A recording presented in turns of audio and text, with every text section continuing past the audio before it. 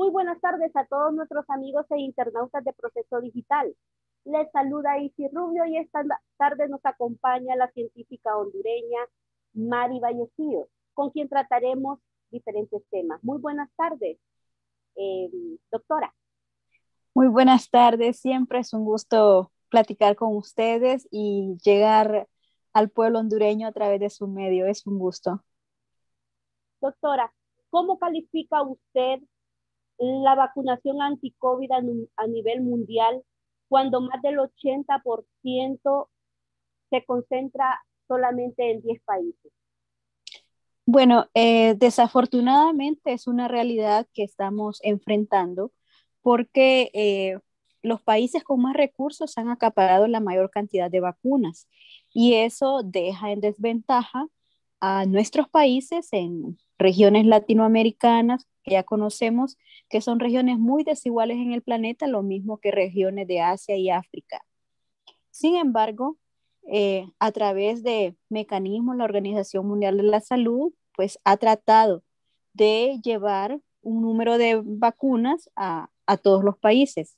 Esto no ha sido suficiente hasta el momento y es necesario que los gobiernos hagan las gestiones correspondientes con las farmacéuticas, con los laboratorios que están desarrollando vacunas para obtener un número considerable y que así se pueda inmunizar a la población.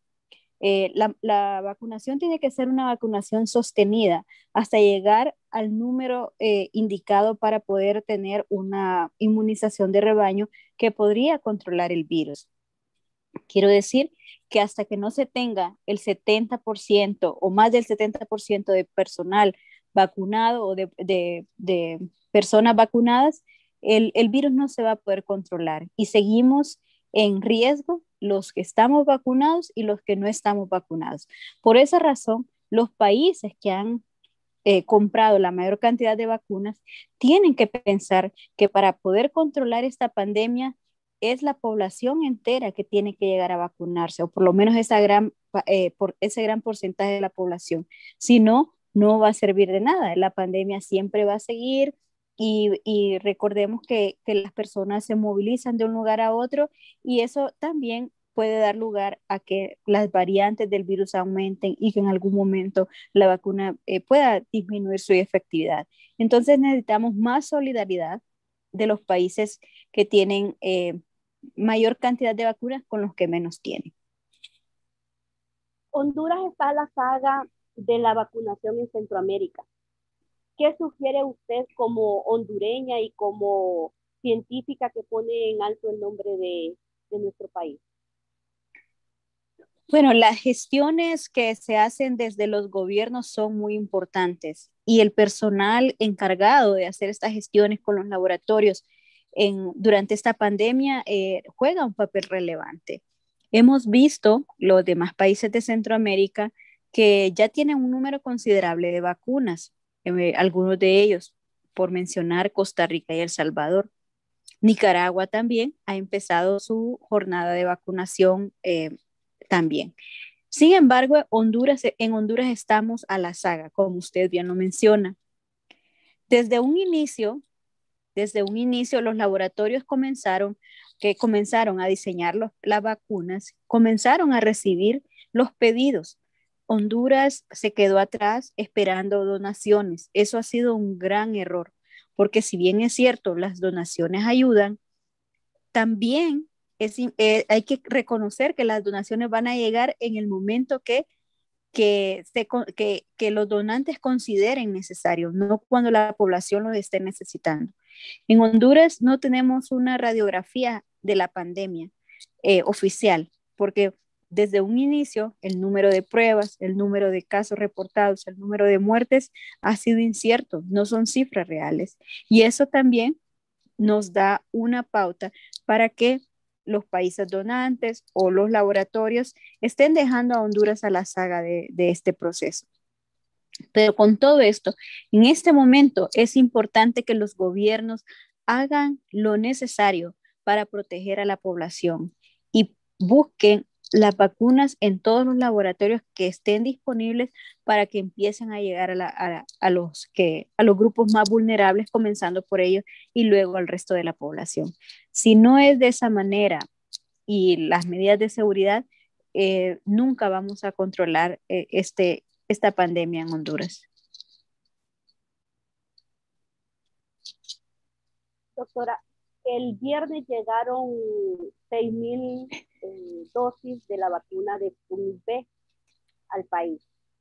La Secretaría eh, empezará a inocular al personal que él, ella ya destinó hasta el jueves. ¿Es normal este proceso o, Honduras lo está retrasando mucho? Bueno, eh, debería de, de ser inmediato. ¿verdad? Porque lo digo por la experiencia que tenemos acá. Nosotros somos aquí en mi estado 3 millones de personas en total. Aquí llevamos 1.9 millones de personas vacunadas, al menos la primera dosis. Y más de medio millón ya con su eh, totalidad. Aquí las vacunas que van llegando se van poniendo a la, a la disposición de la población y eso es lo que debe ocurrir. Yo me fijo también en los países cercanos a Honduras, que inmediatamente llegan las vacunas, inmediatamente se ponen a disposición de la población. ¿Por qué? Bueno, uno porque se necesita acelerar el proceso, otro porque se corre el riesgo, un mal manejo de vacuna que la pueda dejar inefectiva. El hecho de que, eh, bueno, ojalá no ocurra así, pero el hecho de que se, se se mantenga la vacuna por más tiempo, puede dar lugar a que exista un mal manejo, que ojalá y no sea así, repito, pero usualmente cuando las vacunas llegan se ponen a disposición de la población para acelerar el proceso, porque eso es lo que queremos, que todo mundo eh, o, que la mayor parte de, personas eh, puedan inmunizarse. Entonces es necesario que se implemente un proceso de vacunación eh, rápido y seguro. El país registra una alta ocupación hospitalaria y se habla, hoy ya se hablaba hasta de un nuevo confinamiento. ¿Qué aporte nos puede dar sobre eso? Bueno, eh, yo lo he dicho en otras ocasiones que el manejo de la pandemia en Honduras desafortunadamente ha sido eh, con muchos errores. Y no es que todo, no es que todos hemos, eh, no es que todos hemos tenido conocimientos previos, cómo manejar una pandemia, pero cuando se pone a personal que conoce del área, entonces las ideas pueden ser eh, más favorables para la población. El hecho que en Honduras se, eh, el personal que toma decisiones no tiene idea de qué es lo que está ocurriendo durante una pandemia, eso hace que esas decisiones sean erróneas y el manejo de la pandemia en Honduras desafortunadamente no ha sido el mejor. Entonces, con el desorden que hay y que durante todo el año Honduras ha vivido como una eterna cuarentena, pero en desorden, porque ponen los confinamientos en la noche, eh, unos días sí, otros días no, todo el mundo puede salir, etcétera. Eso ha sido eh, un mal manejo que no ha llevado a los frutos esperados. Al contrario, tenemos más casos de COVID, más pacientes en los hospitales, más personas que mueren en sus casas porque no tienen otra opción y más personas que ni siquiera lleguen al hospital porque definitivamente ya saben que no, no van a encontrar asistencia médica. ¿Cree usted que debe de existir un cambio en este momento de la Secretaría, en la Secretaría de, de Salud? Bueno, yo no sé si han hecho cambios últimamente, pero definitivamente que sí, pero no entre los mismos que no aceptan eh, sugerencias. Deben haber cambios con personas que realmente sepan del manejo de la pandemia, que tengan algún conocimiento, que pregunten a, otros países con otras experiencias. Eh, yo estoy segura que si Honduras solicitara ayuda a otros países, por ejemplo Nueva Zelanda, eh, se le brindaría, porque eh, la solidaridad en el mundo en este momento tiene que ser eh, tiene que alcanzar hasta los rincones más alejados del planeta. Entonces, hay países que han manejado muy bien la pandemia y entonces hay que ver, hay que ver cómo eh, se logran esas, eh, esas experiencias y se trasladan a la, a la sociedad hondureña. La vacuna rusa que aún no está aprobada, ¿cree que sería una otra opción para Honduras? ¿Habla de la Sputnik o, o de otra? Es, que la Sputnik es la que nos, vino. Hay una que está en proceso que ya, que ya va a estar aprobada. ¿Será conveniente para los hondureños también? Bueno, mire, eh, desde que una vacuna pasa la segunda eh, fase de prueba, lleva un buen pronóstico. Entonces, los gobiernos deben de tratar de, por lo menos, eh, eh, invertir un poco en seleccionar un número determinado de esas vacunas. Lógicamente hay que esperar el estudio final, hay que esperar eh, toda la eficacia de la vacuna, toda, todo el estudio que nos muestre la efectividad, etcétera. Pero así han funcionado los otros países con las otras vacunas. Desde que estaban en proceso, estos países comenzaron a apartar un número considerable de vacunas y lógicamente cuando ya se dio la, última fase y los análisis están públicos y se pueden estudiar, entonces ya pues eh, se vuelven más confiables. Eh, yo he conocido de, vacunas, por ejemplo, la otra vacuna rusa en China, están elaborando otras vacunas, etcétera, que podrían ser una, solución eh, para, para Honduras, especialmente porque el número de vacunas no, no, pues no llega a la población en el número que quisiéramos. ¿Y qué debemos hacer con, las vacunas de AstraZeneca y las de Johnson Johnson que muestran, que han reflejado en algunos países eh, problemas de, trombosis? bueno, mire. O coágulos en los pacientes. Sí.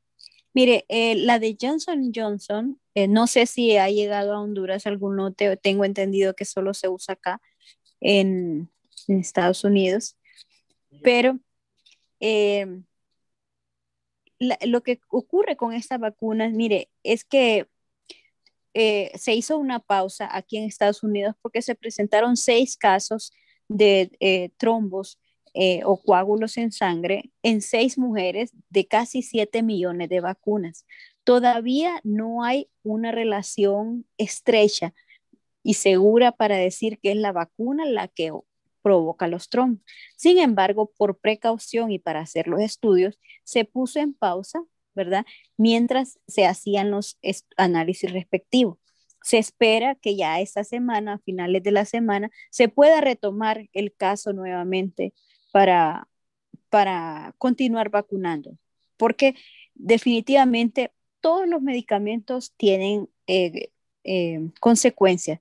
Sin embargo, cuando medimos uno en un millón o menos de un caso en un millón, eso pues eh, tenemos que ponernos a, pensar. Fíjese que si, le da COVID, bueno, si usted se contagia de COVID, tiene 16% más probabilidad que de, eh, de formar coágulos en sangre que la misma vacuna. Si usted fuma, tiene un, casi 2% más de probabilidad que se formen coágulos que la vacuna. Si usted, eh, eh, una mujer em, toma o se le prescriben pastillas anticonceptivas, tiene también eh, alto porcentaje más, un porcentaje más alto que se le formen coágulos que la vacuna. Entonces, en mi opinión, hasta el momento no hay algo que nos diga, sí, la vacuna produce eso. Y en sí no es ni siquiera la vacuna, quizá uno de los componentes que envuelve la vacuna o eh, que, eh, lo que va la vacuna protegida, que todavía, repito, no ha sido comprobado. Sin embargo, este, si nosotros nos ponemos a ver el riesgo-beneficio, vacunarse es muy beneficioso. Y yo, eh, si a mí me preguntan, yo ya estoy vacunada con Moderna, pero si a mí me tocara, si no estuviese vacunada y me tocara eh, escoger, yo escogería cualquiera de las vacunas para poder inmunizarme, porque es mejor em, estar inmunizado que padecer de esta enfermedad que no sabemos cómo va a responder nuestro sistema inmunológico y a la larga no sabemos si vamos a caer dentro del cuadro de asintomáticos, leves o graves y, y que vayamos a morir.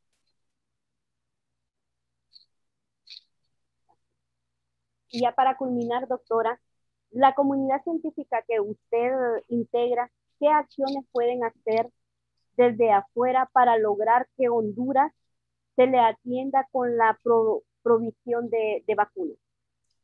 Mire, eh, yo pienso que, hay iniciativas que se pueden, que se pueden hacer, principalmente con, con países que, que no son tan poblados y que adquirieron un número considerable de vacunas. Eh, esos países, así como Israel le donó al pueblo hondureño un número de, vacunas, eh, yo considero que también hay otros países que lo pueden hacer.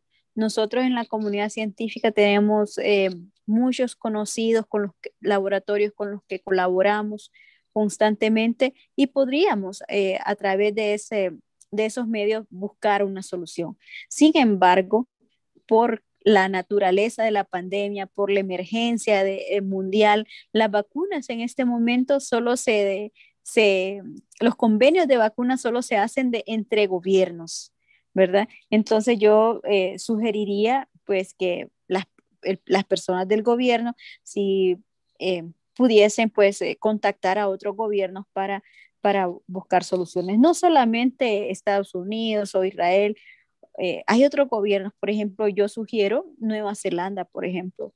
Es un país muy solidario, es una mujer quien, quien eh, gobierna el país y, y, he visto que también dona vacunas a otros países, entonces esa podría ser una opción también. muchísimas gracias, doctora. Para servirle, para servirle, siempre es un gusto hablar con ustedes. Los detalles de estas y otras entrevistas puedes seguirlas a través de todos nuestros portales digitales. Pasen todos muy buenas tardes.